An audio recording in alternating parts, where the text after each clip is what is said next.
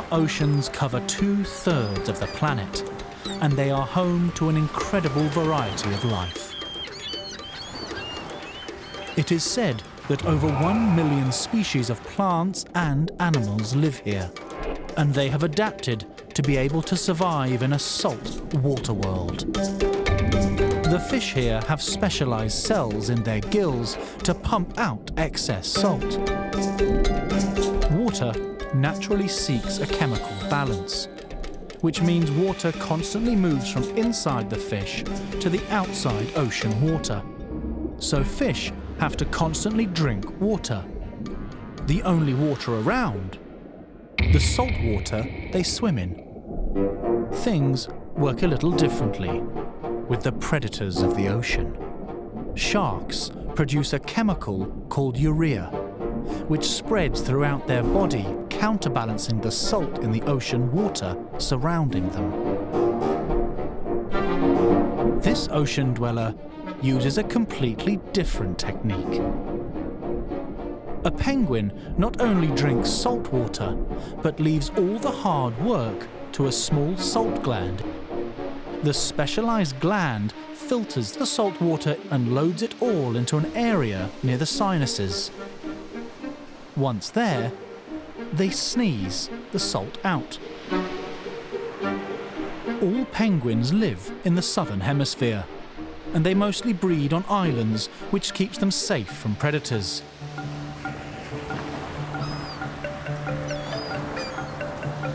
When they do form colonies on a mainland, like here on the southern coastline of Africa, they do so in protected bays, away from jackals and caracals. Penguins, the most iconic of the seabirds, cannot fly, so they have to ensure their habitat is safe. Marine birds have all sorts of feet, from clawed for a life along rocky shores to webbed for a life in the ocean. These short legs act like an oar, and the webbed feet as a paddle, not only propelling the birds quickly, but also allowing them to turn swiftly, making them agile hunters. Penguins may not be able to fly, but their wings make excellent fins underwater.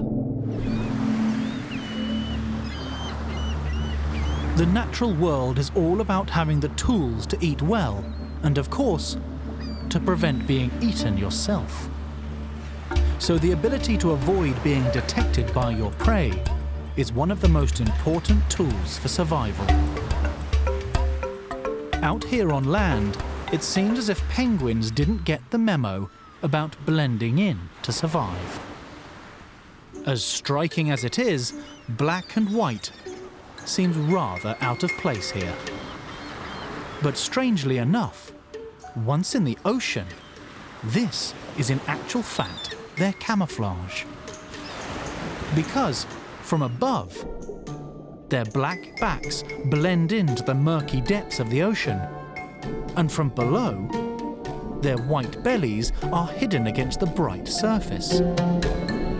This clever adaptation helps them avoid detection from their biggest predator, the great white shark.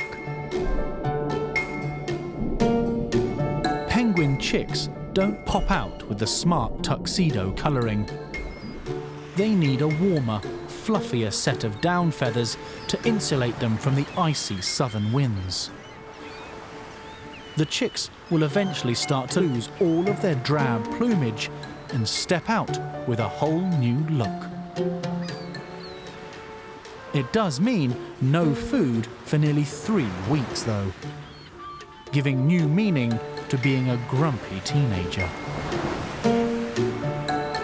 The fossil record places penguins some 60 million years ago,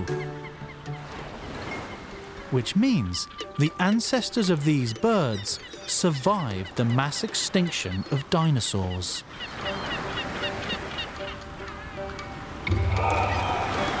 How lucky we are that they have survived through the millennia, still with us, amazing wonders of our planet.